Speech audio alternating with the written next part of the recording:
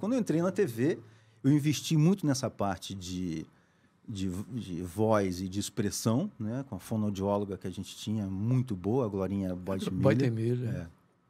É. E foi, foi sensacional. Eu lembro até que a primeira experiência foi muito foi inesquecível, porque ela atendia numa casa na, na Tijuca.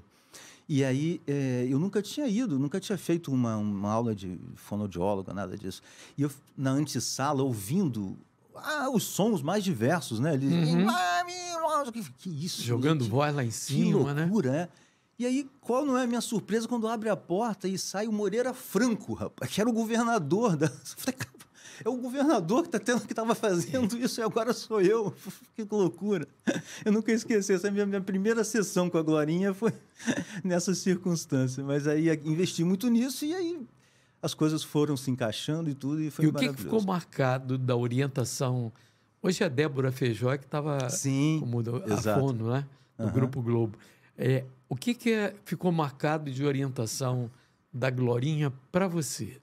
Olha, Zé Carlos, eu acho que a ajuda da- das fonos, da, da, da Glorinha e da Débora foram, assim, muito, muito importantes para mim e para muitos lá. Assim, é, é incrível como elas conseguem identificar é, aonde que está, onde que você pode melhorar. o que- Cada caso é um caso, Cada né? caso é um caso.